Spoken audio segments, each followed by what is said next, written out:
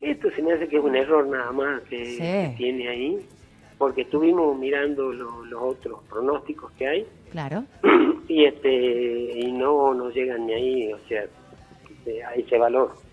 Este, acá en San Salvador eh, eh, no tenemos siquiera que hemos llegado alguna vez a 40 grados.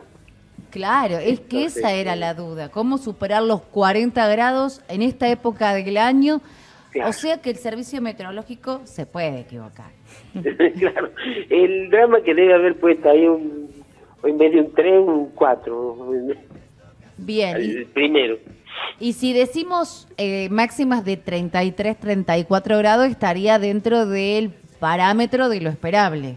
Exacto.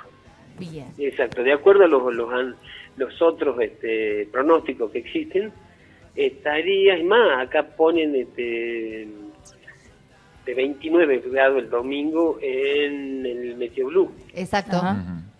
Así que, este, eh, digamos, le, le confío bastante, aunque tiene poca previsibilidad, este, es por la cantidad de días, digamos, así que se está haciendo la previsión meteorológica.